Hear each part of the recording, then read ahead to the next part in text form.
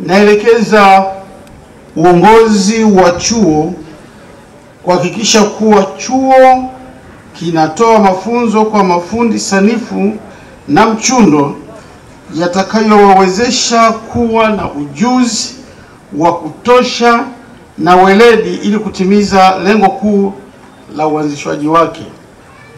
Kuhusu kuongeza mapato ya taasisi na wasihi wakufunzi na wanataaluma kuanza kutoa huduma ya ushauri, kufanya tafiti, kubuni na kutoa kozi za mafunzo ya muda mfupi katika fani ya uhandisi. Hii ni njia mojawapo ambayo inaweza kuongeza mapato ya taasisi. Pia taasisi inakabiliwa na uchache wa ma, makta, maabara, karakana na vifaa na mashine za kisasa za kutolea mafunzo ya vitendo ili kutekeleza ipasavyo mitaala ya taasisi ambayo inaelekeza kutoa mafunzo kwa mchanganyiko wa asilimia sabini vitendo na asilimia thelathini nadharia. Pia ukosefu wa miundombinu ya tehama.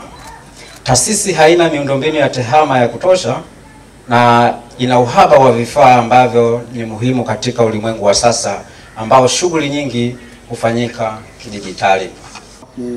Kuhitimu kutoka hapa, mkajiongeze na kuongeza umahili zaidi katika dunia mtakayoendana nayo. Kuna ushindani mkubwa, kwa hiyo lazima mkajipambanue ipasavyo ili mlichokipata basi kikawe cha msaada katika jamii, kwa sababu tunawahitaji sana.